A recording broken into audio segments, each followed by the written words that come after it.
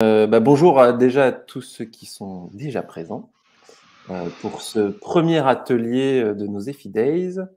donc si ça vous convient, on va juste attendre 2-3 minutes avant de pouvoir débuter, histoire que tout le monde ait la chance de venir assister à ce magnifique workshop sur la stratégie levier pour recruter des nouveaux clients.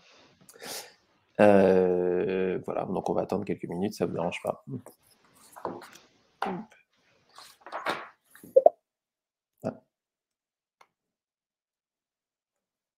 Bonjour, euh, Chico. Vous avez évidemment vu déjà qu'il y avait une partie chat, une partie questions. Euh, vous allez pouvoir euh, échanger avec nous. Durant ce workshop, l'idée étant évidemment de poser vos questions pendant la présentation. On y répondra, enfin on essaiera d'y répondre une fois qu'on aura terminé, d'y répondre le mieux possible en tout cas.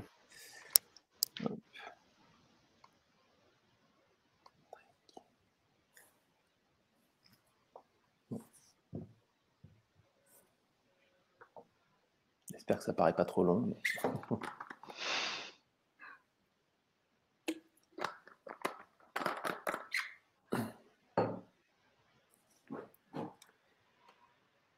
Hop. Alors. Ah, ça arrive, ça arrive. Il y a des gens qui se connectent. Euh, ok, on peut partir comme ça aussi sur la musique d'ascenseur. C'est pas mal. C'est un bon moyen. Allez, on se laisse encore une minute. ça, tout le monde prépare ses cahiers, tout ça, s'il y a des choses à noter. Hop.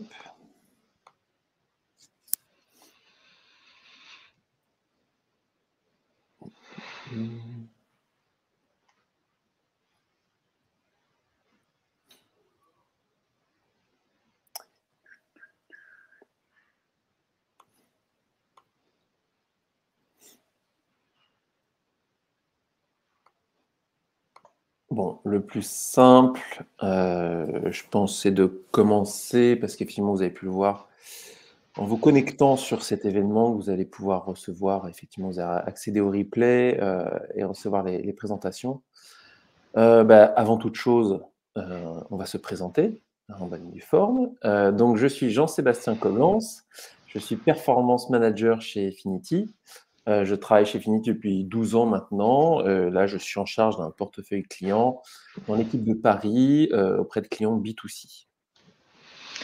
Et pour ma part, du coup, je suis Thibaut, je suis le team leader ads et, influence chez, chez Affinity. Et donc, je travaille sur toutes les problématiques autour des leviers CPM et CPC comme Facebook, Instagram, Google, Pinterest, LinkedIn, etc. Euh, comme je pouvais euh, donc l'expliquer, euh, vous aurez effectivement accès au replay de ce webinaire une fois à la fin de ce, dernier. donc n'hésitez pas à poser vos questions dans l'onglet questions. Et si vous avez, voilà, si vous avez aussi, il y a aussi l'onglet chat hein, pour engager la conversation. On, voilà, comme je disais tout à l'heure, on va essayer de répondre plutôt à la fin pour éviter que de, se perdre un petit peu dans, dans des interruptions. Euh, mais voilà, donc posez vos questions et on, y reviendra ensuite. On essaiera de faire ça dans l'ordre et de répondre à tout le monde, évidemment. Euh, juste un point, donc, euh, ce workshop qui est dédié donc à la stratégie et à l'acquisition de nouveaux clients, on va essayer d'expliquer un petit peu, en plusieurs points, on ne va pas donner des, méthodes, hein, qui, on ne va pas vous dire ça, ça marche, ça ne marche pas, plutôt des pistes de réflexion et au final, pourquoi est-ce qu'on en est venu euh, à ça? C'est de se dire quels sont les enjeux du côté client euh, pour aller générer des nouveaux clients. Évidemment, tout le monde veut des nouveaux clients.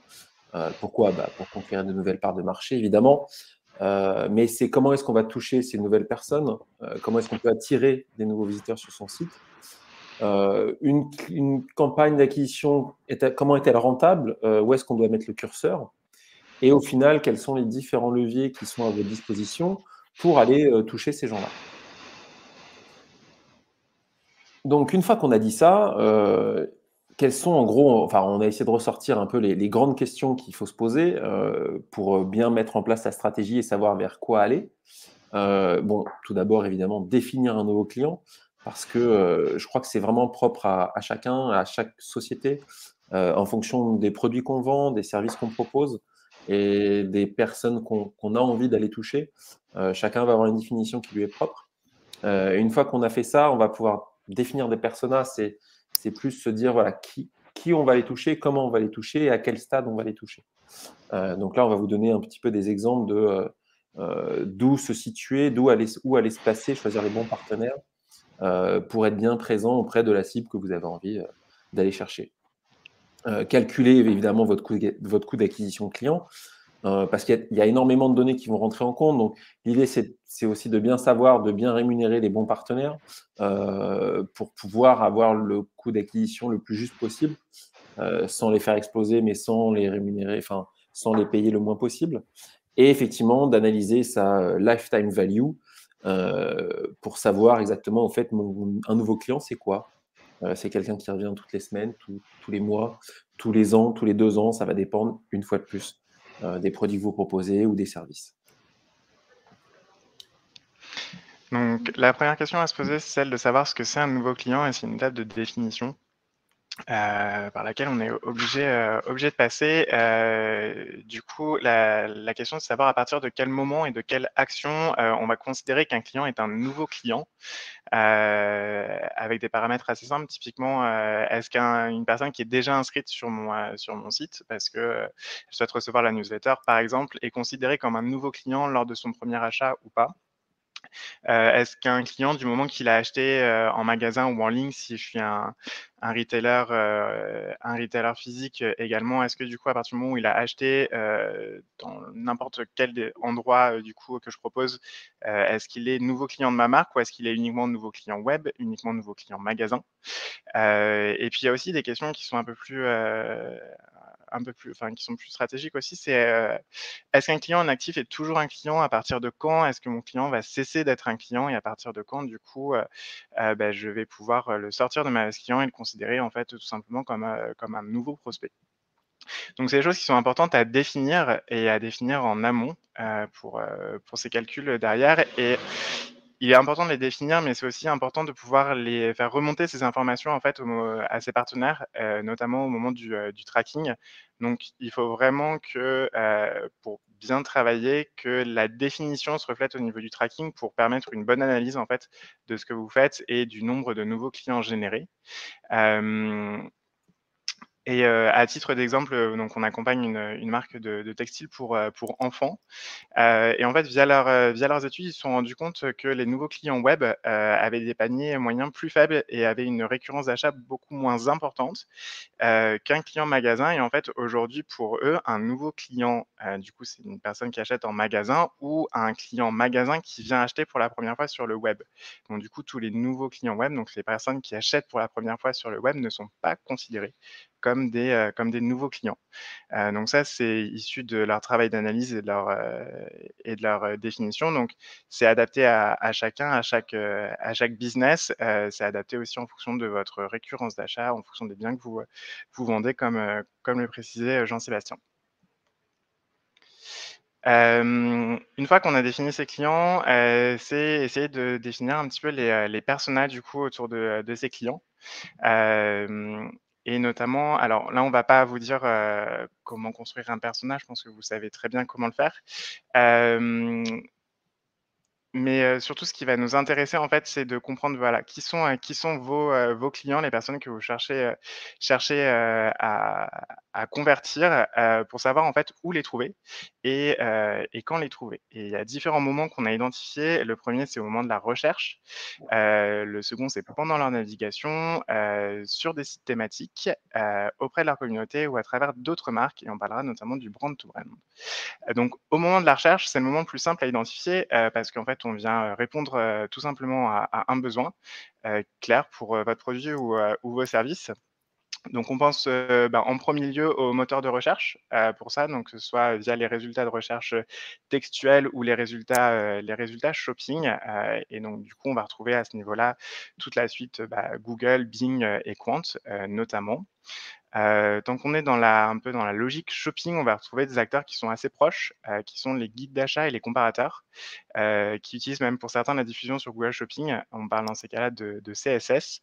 ce sont des acteurs comme Quelcool, Le Guide ou Shopzilla pour des acteurs du coup qui sont plus généralistes ou des acteurs plus spécifiques. Dans la mode, on va retrouver par exemple Stylight, euh, ou pour tout ce qui est déco, on va retrouver des sites comme meuble.fr, Lyonzome ou Home Tiger, qui sont des guides d'achat spécialisés dans tout ce qui est maison et décoration. Il y a aussi des leviers qui sont un petit peu moins évidents et auxquels on ne pense pas forcément quand on est en stratégie d'acquisition de nouveaux clients. le premier, c'est YouTube, parce qu'en fait, YouTube, c'est le deuxième moteur de recherche en France. et non, c'est pas Bing. et il y a notamment des options de ciblage qui sont assez intéressantes sur YouTube. on a ce qu'on appelle des intentions personnalisées. qui sont basées sur l'historique de recherche des, internautes et qui permettent en fait de cibler des gens qui sont en train de rechercher typiquement vos produits lors de leur visite sur, sur YouTube. Je survole un petit peu le sujet, euh, mais si jamais le sujet vous intéresse, euh, il y a un webinaire qui est dédié à, Google du search, mais pas que, euh, jeudi prochain à 14h15. et je vous invite du coup à vous y inscrire si jamais vous souhaitez comprendre un petit peu les logiques à mettre en place autour de, de, de YouTube. dernier lieu de recherche aussi, c'est Pinterest. Donc, il y a un vrai lieu de découverte et d'inspiration pour, plus de 10 millions d'internautes en France. donc, pareil, pour ce sujet-là, si jamais ça vous intéresse, il y a un autre webinaire qui est organisé vendredi à 11h. pareil, je vous, invite à vous inscrire du coup sur, les EFI Days sur, sur Efinity maintenant qu'on a travaillé un petit peu la stratégie, la stratégie du coup pool qui consiste à, répondre à un besoin, il y a une autre technique complémentaire qui est celle du, push. En fait, on va venir pousser un message publicitaire de manière proactive à un utilisateur en s'appuyant sur des critères de ciblage. Ben, du coup, les critères de ciblage assez classiques. On a du socio-démographique, des centres d'intérêt, des audiences similaires. Donc, c'est les fameux lookalike qu'on va retrouver sur, sur Facebook et d'autres. L'intérêt sur ces leviers, alors certes, il y a les y a les données de ciblage, mais surtout en fait les données d'exclusion que je trouve très intéressantes sur ces leviers, euh, parce que du coup on peut faire de l'exclusion euh, par le pixel, donc exclure tous les, euh, les acheteurs du site qui ont été traqués via, via les pixels, mais surtout via l'import de base CRM. Et c'est là je trouve que ces outils sont ultra intéressants quand on veut faire de l'acquisition pure de clients. il suffit de charger en fait ces, ces bases CRM dessus et de les mettre en exclusion de tout ce qu'on fait que ce soit en acquisition ou en retargeting. Euh, donc, c'est des stratégies qu'on peut déployer sur euh, Facebook, sur Google, sur Pinterest, TikTok, en native, en emailing euh, et sur la plupart des leviers avec des logiques au CBC et au CPM. il y a des choses assez malines à faire un des autres avantages de cette approche, c'est aussi la réactivation. Tout à l'heure, j'en parlais. la, question importante, c'est de savoir à partir, qu'est-ce que c'est un nouveau client, à partir de quand un client n'est plus un client, et du coup, bah, intégrer des logiques aussi dans sa, stratégie d'acquisition, de réactivation de clients qu'on a perdus parce que bah, ça fait un an, deux ans qu'ils n'ont pas acheté, qui sont peut-être pas venus sur le site d'ailleurs, et, qu'on essaie du coup de les, réengager via, ces mêmes logiques de ciblage. Après, effectivement, euh, une fois qu'on a fait ces, euh, qu'on a mis en place ces, leviers, on va pouvoir réfléchir autour de, on va dire, des, approches contextuelles, qui est de se dire au final, euh, qui sont mes clients et comment je vais aller chercher donc des nouveaux clients qui leur ressemblent. donc là, on va plutôt évidemment parler donc de contextuel, de contexte. Donc on parle principalement de sites thématiques ou de l'influence. L'idée étant effectivement d'identifier des sites euh, qui parlent à votre cible euh, dans tous les univers. Hein. On parle de hommes, femmes, mode, beauté, sport, informatique. Donc là, on va, on va principalement parler de sites médias pour ce genre de choses, ou des blogs, euh, ou tout autre site dans ce style-là. L'idée étant d'aller par différents moyens de, diffusion. vous avez effectivement l'habillage, le display classique, mais après, de plus en plus, on, on travaille sur des articles, euh, sur des, guides d'achat aussi, qui peuvent être des, mises en avant de produits spécifiques, euh, mais sur une, cible qui sera vraiment identifiée. Euh, vous avez aussi dans cette partie-là, on peut après évidemment regrouper différents, différents leviers qui ont été évoqués par Thibaut juste avant, comme le native ou les newsletters. donc, c'est d'avoir des présences au sein de newsletters qui sont identifiées de manière contextuelle, donc à l'intérieur de ces newsletters en mode partenariat, ou de faire de, la native newsletter qui va vous permettre de placer euh, votre annonce, votre offre, hein, ce, que vous souhaitez, euh, au sein de ces newsletters parce que euh, vous dites, voilà, moi, ce sont ces personnes que j'ai envie de cibler de ce côté-là. Ensuite, euh, on va plutôt, évidemment, donc il y a la partie contextuelle. Après, on peut réfléchir en manière de communauté. Euh, une méthode de, communication qui se fait de plus en plus. Euh, vous avez, là, on a mis en premier lieu les, les, rewarders. Donc, ce sont des sites qui sont identifiés cashback, mais qui vont s'adresser à des certaines populations de personnes.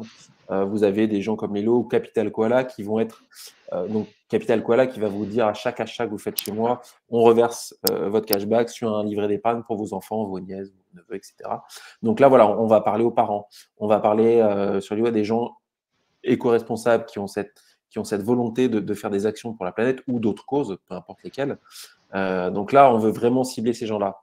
Après, vous avez euh, les groupes et forums euh, qui vont parler évidemment d'un service ou de, produits automobiles, jardins, enfin peu importe. Donc on se dit, voilà, on va vraiment cibler pas des spécialistes, mais des univers de spécialistes pour lesquels on a envie d'être présent et, de d'être visible. On a mis aussi le, cashback physique, l'idée étant d'aller communiquer auprès euh, de, clients bancaires. Euh, c'est quelque chose qui se développe de plus en plus, qui est de dire voilà, une banque va, va, communiquer des offres de partenaires, donc de magasins physiques, et on va leur dire si vous vous rendez dans ce magasin pour profiter de telle offre, vous recevrez du cashback sur votre compte bancaire directement. Là, l'idée, c'est assez important parce que la banque, enfin les données bancaires vont vous donner la possibilité d'aller cibler des personnes euh, qui ne sont jamais venues chez vous, par exemple, et par contre qui sont allées chez vos concurrents. Ou alors des personnes qui ne sont pas venues chez vous depuis X temps. Donc là, pour le coup, on a cette notion de nouveau client qui est, très importante, euh, parce qu'on va pouvoir mettre des critères qui vont faire que on va, on va ne toucher au final que des personnes avec qui, euh, qui, au final, comme dit, qui pouvaient ne pas être venus depuis six mois, euh, un an, huit mois, deux semaines. Tout dépend de, vos produits et des services que vous proposez. Euh, donc là, c'est une autre manière, euh, une autre manière d'aller toucher, d'aller toucher ces, gens-là. Et dernier point, donc là, on va parler donc de, brand to brand, aussi trade marketing qui est d'aller s'associer avec un, annonceur euh, qui, en gros, va vous apporter un complément. C'est-à-dire qui est complémentaire de votre offre ou de vos services. Et vous allez pouvoir bénéficier de sa communication et de son image euh, pour associer votre offre euh, à, à, sa communication email, sur son site, etc. Là, on a pris comme exemple la société Homer euh, qui, va, qui, est là pour, euh, qui vend des campings, enfin qui propose des offres de camping. On va l'associer à, à, Vinci Autoroute qui propose une offre Ulysse de télépéage. Donc voilà, donc quand on est sur des moments, après ça peut être à différents moments, euh, en avant-vente sur les newsletters ou alors sur des moments de réservation, on peut avoir cette, ces offres qui vont venir se croiser. en gros, on va aller faire bénéfice, profiter de l'impact et de la force de certains annonceurs pour mettre en avant, pour mettre en avant nos produits. Euh, des choses vraiment à réfléchir parce que, euh, effectivement, quand on, peut dire qu'en termes de diffusion, on touche vraiment des gens très très précis et qui, vont, qui auront la possibilité d'avoir un achat complémentaire euh, avec nous. Voilà, donc comme le comme le disait Jean-Sam, en fait, l'idée, c'est pas de choisir un levier, dans dans toute cette liste, c'est vraiment d'essayer de travailler, la combinaison et en fait travailler le parcours utilisateur. donc voilà, une fois qu'on a travaillé un peu ce parcours, l'idée, c'est de se dire, bah, combien on est prêt à payer, en fait, pour, pour un nouveau client. et là, en fait, le le point le plus important, pour moi, c'est surtout de, bien définir son objectif. Euh, qui doit être le, CAC, donc le coût d'acquisition client, ou parfois on parle de CPANC, donc c'est le coût par achat de nouveaux clients. Euh, donc ça doit vraiment être le KPI euh, à suivre et il faut vraiment éviter quand on fait de l'acquisition client de vouloir courir après tous les objectifs et vouloir faire à la fois de l'acquisition et de la rentabilité et du développement de nouveaux univers et de la fidélisation parce qu'en fait ça ne marchera pas et au final on sera enfin tout le monde sera déçu.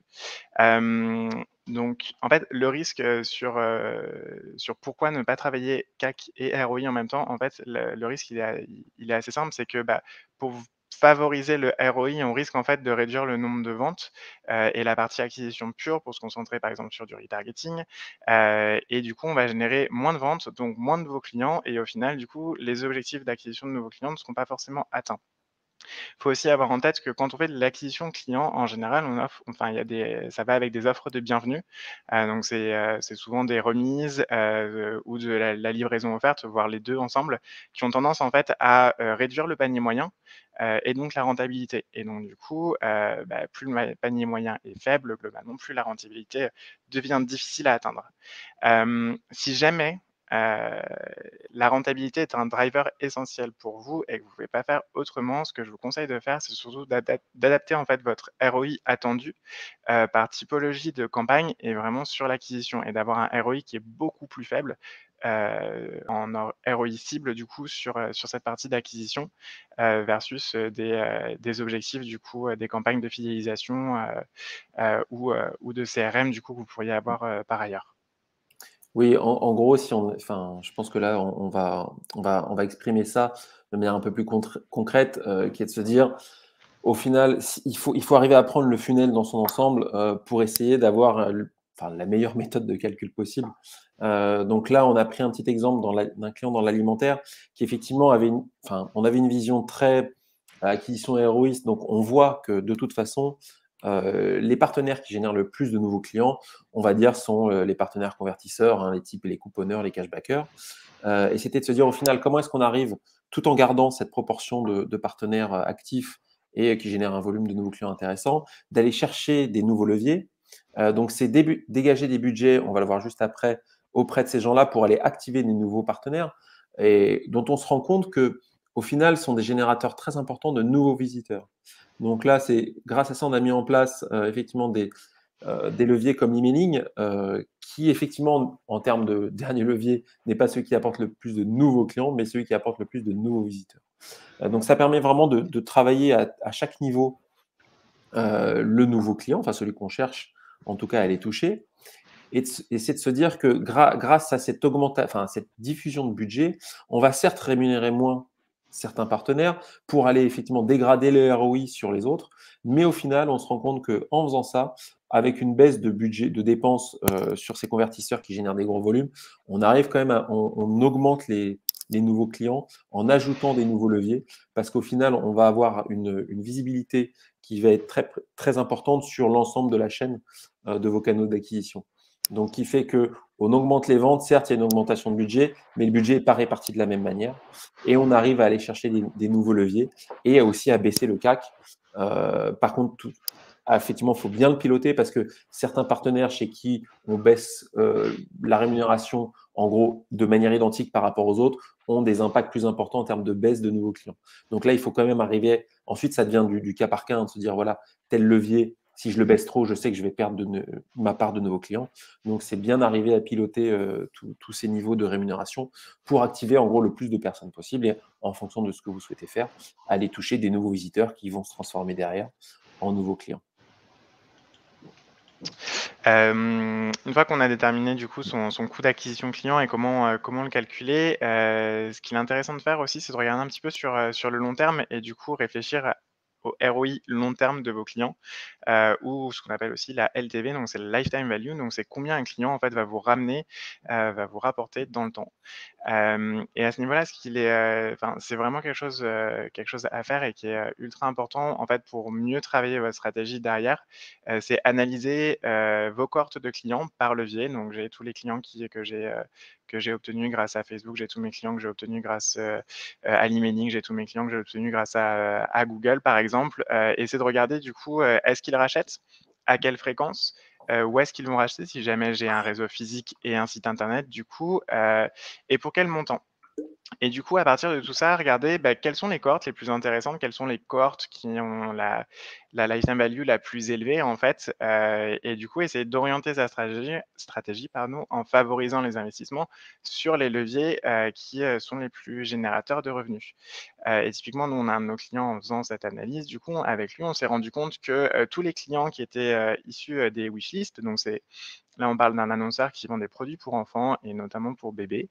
Euh, donc, tous les clients qui, étaient issus des, des wishlists de naissance, en fait, euh, ne rachetaient jamais parce que, bah, en fait, tout simplement, c'est des, gens qui viennent pour, pour acheter un cadeau. Et donc, du coup, ils n'ont pas d'enfants, ils n'ont pas vocation à venir racheter, racheter longtemps. Et en fait, du coup, on fait de l'acquisition en fait dans le vide, dans ce cas-là.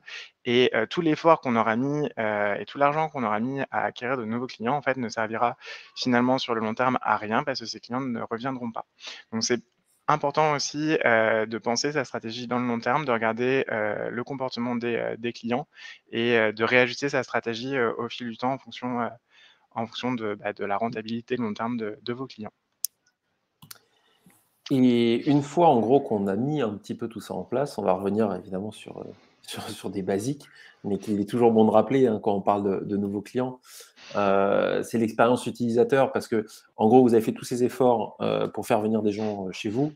donc voilà, il faut vraiment s'assurer évidemment que votre site e-commerce est le plus performant possible, que son design en, en, responsive, en responsive pour le mobile, parce qu'il y a de plus en plus évidemment d'utilisation mobile, dans sa facilité d'utilisation et dans le temps de chargement. Ça, paraît, ça paraît évident, hein, mais il vaut toujours mieux le rappeler parce que c'est vrai qu'on c'est là où on va perdre quand même beaucoup, beaucoup de gens. Euh, et après, dans tout ce qui est euh, enfin, réassurance et service, vraiment pas hésiter à les mettre en avant euh, et de bien traiter ses avis clients. Parce qu'on sait que voilà, 77% des consommateurs lisent les commentaires et donc forcément ça a une, incidence sur leur, sur leur comportement d'achat. et après, voilà, tous les services, toutes les offres que vous pouvez proposer, bien les mettre en avant, que ce soit bien travaillé et à relayer sur les différents supports, en emailing, peu importe. On, peut se dire, OK, j'ai pas de promotion à mettre en avant sur tel ou tel, ou tel support, euh, mais juste dire que euh, les options de paiement, la livraison est gratuite ou à tant de jours, etc. Tout ça, c'est des messages qu'il faut communiquer en permanence parce que ça peut faire, ça peut faire vraiment le, déclic par rapport à certains pour aller se dire, OK, je vais pouvoir acheter parce que je suis rassuré sur tel ou tel point. Et on est arrivé presque au bout. en même temps, est 26, tout va bien.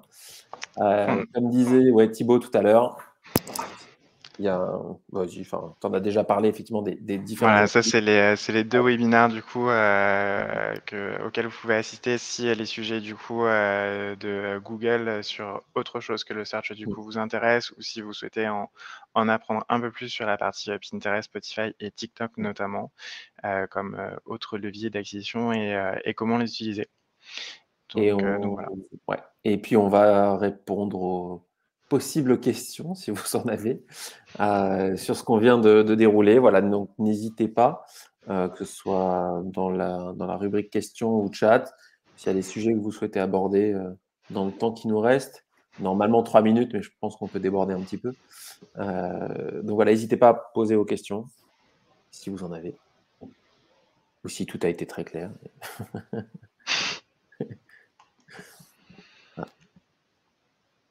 Alors, on va attendre, c'est le suspense. Ah bon, ah bah, merci. Bah, merci.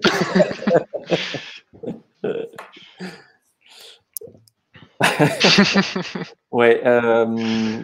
ah, ouais, ça y est. Tout le monde Très bien. En, tout cas, évidemment, il ne faut, faut, vraiment pas hésiter à, à nous solliciter euh, sur ces sujets-là. Euh... Bon, ça, Thibaut, je vais te laisser répondre. Alors, je suis en train de lire la question. Très précise. Mmh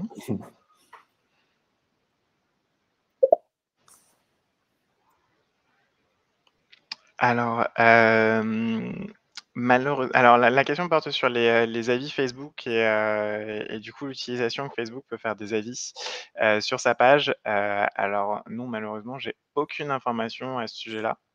Euh, on pourra s'enseigner éventuellement auprès de nos accounts sur, euh, le fonctionnement euh, du coup de, Facebook autour de ça. C'est vrai qu'il y a beaucoup de modifications en ce moment chez Facebook, donc c'est possible que ça fasse partie des, sujets sur lesquels ils sont en train de travailler. Et, ok, donc la question d'Anne-Sophie, oh, donc vous avez déjà tout testé, qu'est-ce qu'on peut faire? Bon, évidemment, je vais essayer de faire une réponse, mais qui va être assez générale, parce que je, n'ai pas toutes les informations.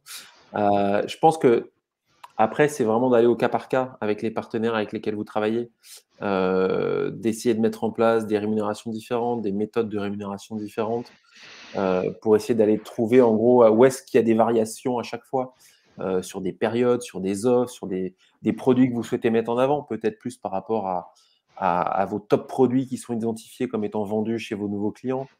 donc, c'est vraiment d'avoir une analyse spécifique après par levier, par trafic, par conversion pour essayer d'avoir d'avoir le plus d'infos possible.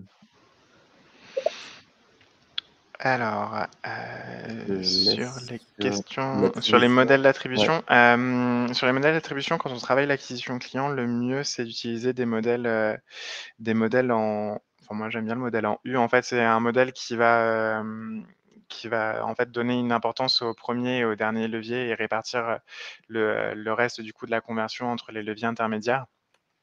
Et si jamais on n'est pas dans ces, dans ces, dans ces mécaniques-là, moi je conseille quand même de regarder un petit peu ce qui se passe côté conversion, conversion indirecte ou chemin de, chemin de conversion sur Google Analytics en fait pour voir notamment bah, quels sont les leviers initiateurs en fait sur vos, différents leviers d'acquisition globalement lesquels sont, sont initiateurs, lesquels sont intermédiaires, lesquels sont, sont en fin de parcours, juste pour mieux apprécier en fait l'apport de vos différents leviers sur, les conversions dans votre stratégie.